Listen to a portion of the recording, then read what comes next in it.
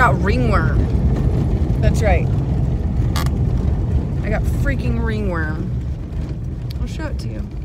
Yeah, I will. I'll show it to you. I got freaking ringworm from a free t-shirt I picked up. oh God, I love free clothes. but what do these free clothes come with? You never know. I'll never know where this free clothes come. Whoa, slow down. So I'm gonna go wash the shirt that I think it was.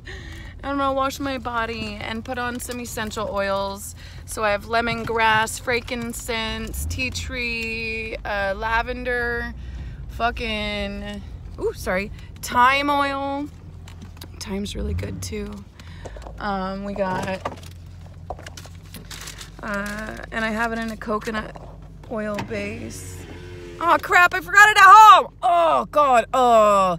Okay, anyway, so I'll have to put it on once I go home because I also want to let go the trade circle. It's trade circle, and I have so much stuff to freaking trade. I'm excited. The dogs are excited to go in the hot spring. Come on, let's take off your sweater. All right, so we're gonna do this, and I'm gonna kick this freaking fungus or whatever the heck it is in the fucking nuts. I'm done with this. I'm done playing this game. Free box t-shirts. I love free boxing. I've never dealt with this before. Maybe I have.